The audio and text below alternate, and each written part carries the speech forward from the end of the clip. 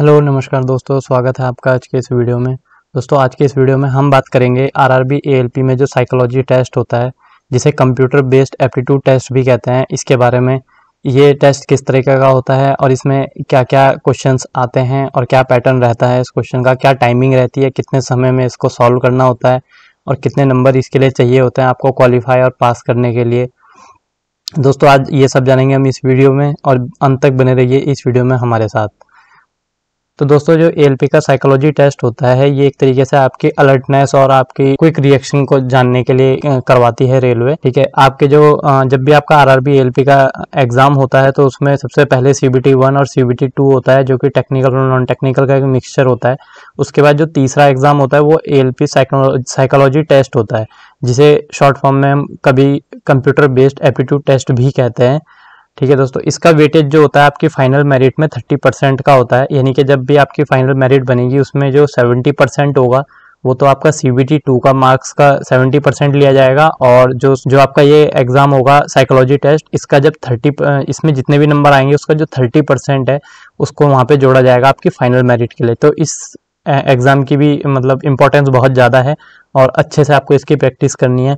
Generally बहुत ही कम exams में ये देखने को मिलता है, ये वाला टेस्ट तो इसलिए इसके बारे में ज़्यादा किसी को पता नहीं होता है। दोस्तों 2019 में मैंने फ़र्स्ट अटैम्प्ट में इसको क्लियर किया था और एक अच्छा डिसेंट स्कोर मैंने यहाँ पे स्कोर किया था। और दोस्तों, इसमें जो साइकोलॉजी टेस्ट में जो बहुत ही लोग फेल होते हैं, उसका एक मेजर रीज़न है कि वो एक तो अच्छे से प्रैक्टिस नहीं करते हैं और वो इसको समझ नहीं पाते हैं, वो इसको बहुत हार्ड समझते हैं। जबकि ये बहुत ही इजी टेस्ट है, बस आपको अलर्ट रहना है और बस ऑब्ज़र्व अच्छे से करना है। वो सब मैं आपको इस वीडियो में बताऊँगा। दोस्तों, ये जो टेस्ट होता है, इसमें देखिए आपको टोटल पाँच टेस्ट मिलते हैं करने को, जो आपको मतलब आपके एग्ज़ाम में पाँच टेस्ट आएँगे। ठीक है, ये सब आपको करने हैं। ये अलग अलग तरीके के पाँचों टेस्ट होते हैं। इस टेस्ट में हम खाली अभी मेमोरी इस वीडियो में हम खाली मेमोरी टेस्ट के बारे में बात करेंगे। बाकी आने वाली वीडियोस में मैं आपको बाकी चार के बारे में भी बताऊँगा। अगर इस वीडियो पे मुझे अच्छा रिएक्शन मिला तो मैं बाकी चार के लिए भी ये वीडियोस बनाऊँगा इसमें। तो दोस्तों सबसे पहले जो बात करेंगे मेमोरी टेस्ट की।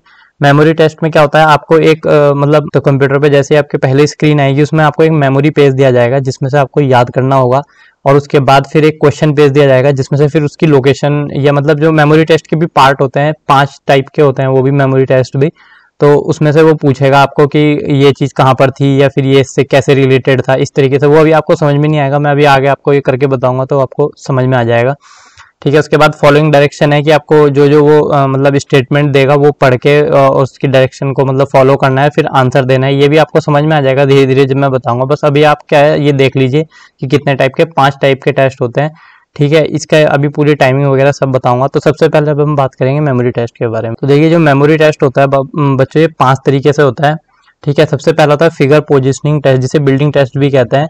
इसमें आपको एक पहले एक मेमोरी पेज दिया जाएगा। इसमें अलग अलग पोजिशंस पर कुछ पिक्चर्स लगा दी जाएँगी। हाउस की बिल्डिंग्स की अरे अलग अलग तरीके की बिल्डिंग्स की मतलब आइकन जैसे होंगे वो। आ, तो वो आपको दे दिए जाएँगे। उसके बाद आपको पूरे दो मिनट का टाइम दिया जाएगा उसको मेमोराइज करने के लिए क्या कौन सी चीज़ कहाँ पर है। इसके बाद जैसे ही दो मिनट पूरे होंगे तो अपने आप ही वो पेज वहाँ से हट जाएगा। इसके बाद आपका क्वेश्चन पेज आ जाएगा। क्वेश्चन पेज में क्या होगा, वो आपको बस एक तरीके से अल्फाबेट्स दे देगा कि बताओ ए पोजीशन पे कौन सी बिल्डिंग थी, या बी पोजीशन पे कौन सी बिल्डिंग थी। तो सबसे पहले जो अभी हम बता देता हूँ आपको टाइमिंग मैक्सिमम जो मतलब जो वन टू और फाइव जो टेस्ट हैं उनके लिए आपको मेमोरी पेज के लिए दो मिनट मिलेंगे और क्वेश्चन पेज के लिए भी दो मिनट मिलेंगे।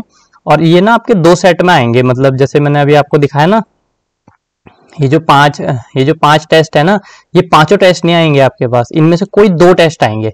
मेमोरी टेस्ट के लिए आपके इनमें से कोई दो टेस्ट आएँगे, पाँचों नहीं आएँगे, ये चीज़ ध्यान रखना आप।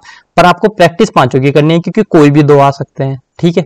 तो पाँचों की प्रैक्टिस करनी है, कोई भी दो आ सकते हैं, पर आएँगे दो ही। ठीक है तो अच्छे से प्रैक्टिस करनी है। हालाँकि आपको ये चीज़ शुरू में हार्ड लगेगी। पहले में आपका स्कोर बहुत ही कम होगा। मेरा भी बहुत ही कम स्कोर हुआ था ना के बराबर। लेकिन धीरे धीरे जैसे आप प्रैक्टिस करते जाएँगे डेली ठीक है तो मैंने आपको बताया मेमोरी पेज के लिए दो मिनट मिलेंगे क्वेश्चन पेज के लिए दो मिनट मिलेंगे। तो टोटल चार मिनट हो गए, एक सेट के। उसके बाद दूसरा टेस्ट आएगा, कोई भी और आ सकता है उनमें से।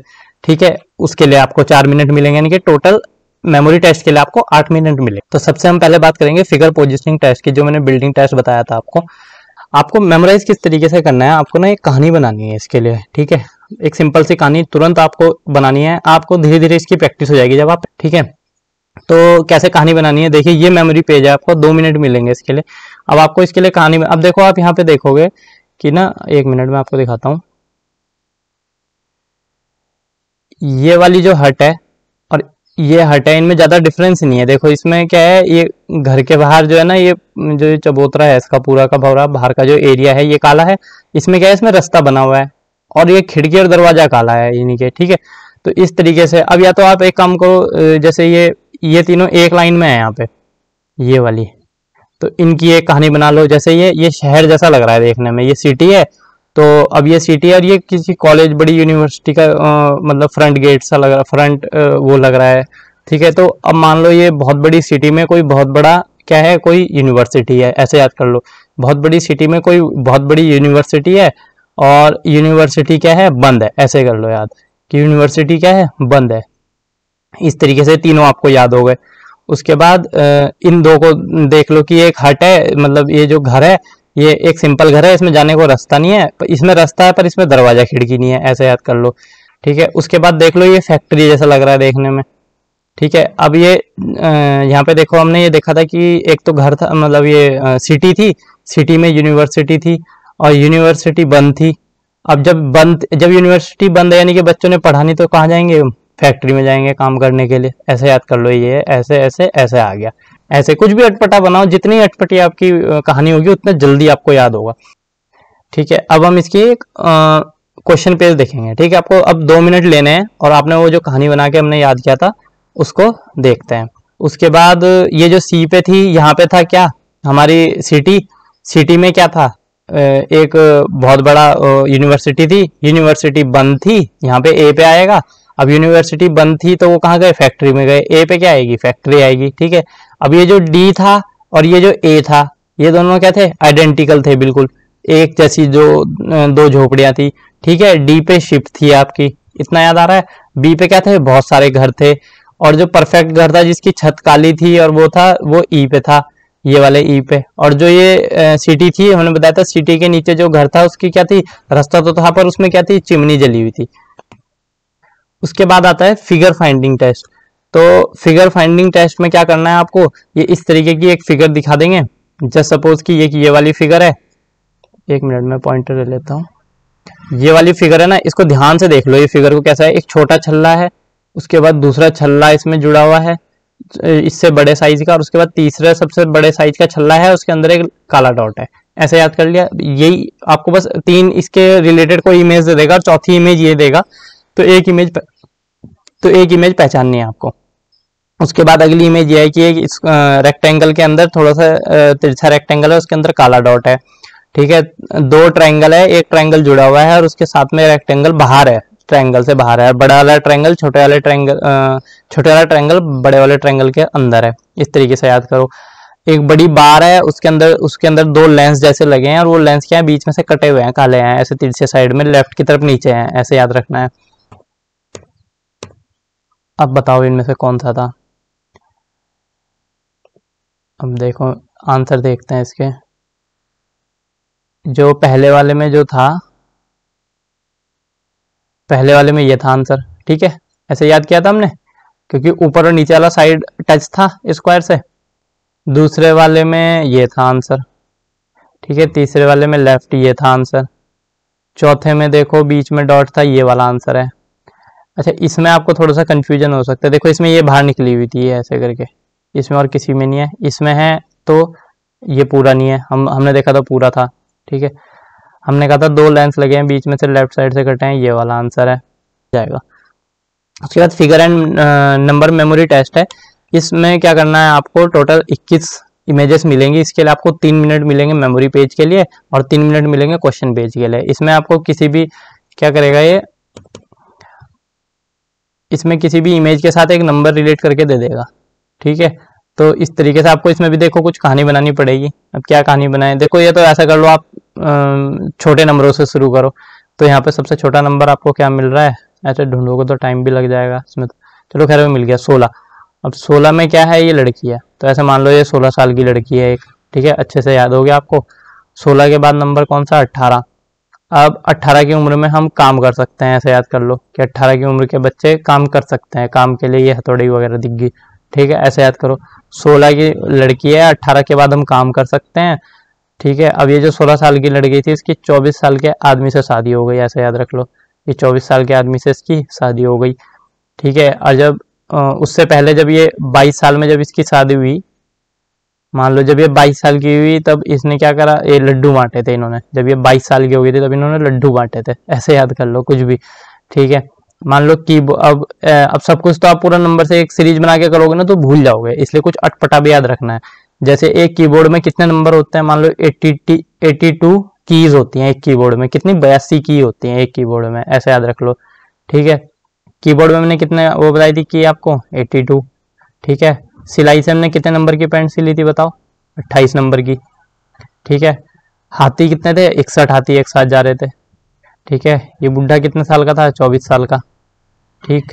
चाय मेरे हिसाब से फिफ्टी सेवन था, ये याद नहीं करा मैंने, हल्का सा मुझे जहाँ तक याद आ रहा है फिफ्टी सेवन था। तानपुरा कितना था? बताओ बताओ, तानपुरा थर्टी फाइव था थर्टी एट था। देखो, यहाँ कन्फ्यूज़न है हल्का सा। अभी एकदम से याद नहीं हो रहा है। ठीक है हमने बताया था एक रेजिमेंट में कितने सिख थे? सिक्सटी फाइव ठीक है, लड्डू हमने कब बांटे थे, जब हम कितने साल के हुए थे? बाईस साल के। ऐसे याद करो, ये हमने याद नहीं करा था। फ्लॉपी बताओ कितनी थी? सेवेंटी थ्री की। बताया था ना सेवेंटी थ्री एम की फ्लॉपी है। ये अटपटा सा जो दिख रही थी हमें इमेज ये थर्टी एट की थी, याद आ गया एकदम। इसके बाद ये लड़की तो हमें पता ही था, सोलह साल की थी। और अंगूर कितने रुपए किलो थे? फिफ्टी नाइन तो देखो कितनी आसानी से याद हो गए, बस। उसके बाद फिगर मेमोरी टेस्ट में बताता हूँ, इसमें भी आपको क्या मिलेंगे? एक फिगर से दूसरी फिगर को रिलेट करके दे देंगे, और फिर मतलब इसमें भी तीन मिनट मिलेंगे और बीस क्वेश्चन मिलेंगे आपको। ठीक है? तो इसमें क्या करेंगे? एक फिगर को दूसरे फिगर से रिलेट करना है। अब जैसे ये मान लो ये लड़की जैसी दिख रही है, ये लड़की क्या करती है? रोज पूजा पाठ करती है। अब ये जो इमेज जो आपको दूसरी दी जाएगी ना, इसमें भी आपको थोड़ा डिफरेंस मिलेगा। मतलब इस लड़की से ये कोई इमेज के चार टाइप दे देगा। कौन सी वाली इमेज है, वो आपको पहचाननी है, ठीक है? तो ये लड़की से क्या थी ये इमेज मतलब रोज धूबत्ती करती थी। कितनी चार स्टिक थी इसमें, देख लो ध्यान से ऐसे करके, ठीक है? सीढ़ी पे चढ़ के हम बल्ब लगाते हैं। ऐसे याद करो, ठीक है? सीढ़ी पे चढ़ के हम बल्ब लगा देते हैं। देखना, बल्ब जो है ना, उल्टा है, नीचे की तरफ़, ऊपर की तरफ़ से लगता है। ऐसे याद रखना, ठीक है? उल्टा रखा है ये। उसके बाद फ़ोन जब बजती है, फ़ोन काय में घड़े में रखा है। ऐसे याद कर लो। ये टेलीफोन जो है घड़े में रखा है ऐसे। घड़ा या बर्तन, जो भी कह लो। ठीक है? ये सीधा है, इसमें यहाँ एक ब्लैक है, यहाँ ब्लैक है, इधर जगह है, इधर जगह नहीं है। ऐसे याद रखना। है इसमें अब आपको ये याद करना है ना, अब हमने देखा था कि एक लड़की थी जो डेली धूपबत्ती करती थी, कितनी चार स्टिक थी। अब चार स्टिक थी, पर ये जो हवा सी इधर को बह रही थी तो ये बी वाला आंसर हो गया। ठीक है? सीढ़ी पे चढ़ के हम क्या लगाते थे? बल्ब लगाते थे तो ये सी वाला आंसर हो गया। इसमें बी है। ठीक, उसके बाद ये टेलीफोन में क्या था? घड़ा था। सीधा रखा था? ये है। सीधा रखा हुआ, और तो कोई है नहीं तो ये आंसर हुआ ए ठीक है? याद हो जाते हैं। आप ऐसी कहानी बना के याद करोगे तो याद हो जाएँगे। उसके बाद रियल ट्रैक मेमोरी टेस्ट आएगा। इसमें आपको ढाई मिनट मिलेंगे। ठीक है? बीस ये दिए हुए रहेंगे। तो इसको आप देखो, बहुत ईजिली याद रख कर सकते हो। इसमें आपको अजीब सा वो बनाना है। जैसे, अब जैसे ऊपर से नीचा, ठीक है? ये स्टेशन है, मान लो, ठीक है? यनत जकर पक नयत, ऐसे।